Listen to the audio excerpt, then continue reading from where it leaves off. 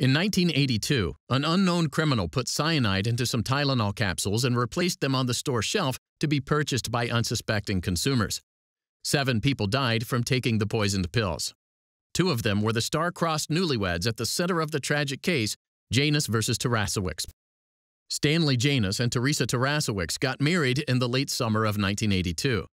They just returned from their honeymoon when Stanley's brother Adam died suddenly. The family gathered at the Janus home on September 29th to mourn his loss. What no one knew yet was that Adam had died from taking Tylenol laced with cyanide.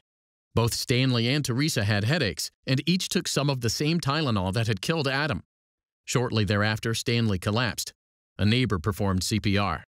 When the ambulance arrived, Theresa also collapsed and began having seizures. Both Theresa and Stanley were now unconscious with non-reactive pupils.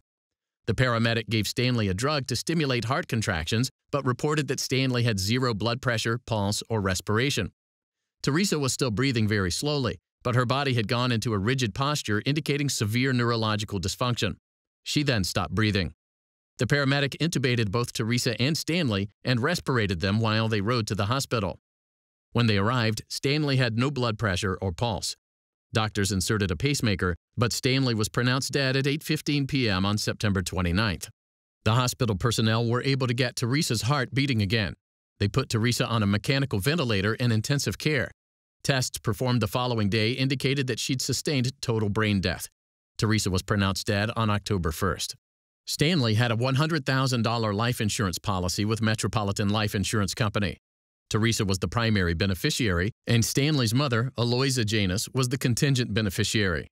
Under the Uniform Simultaneous Death Act, as enacted by state law, if there was no clear evidence that one person had predeceased the other, the proceeds of the policy would be distributed as if the insured had survived the beneficiary.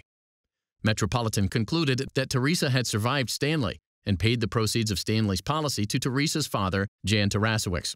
Stanley's mother sued Tarasewicz, Janus argued that both Stanley and Theresa had suffered brain death before arriving at the hospital and that she was therefore entitled to the proceeds of the insurance policy.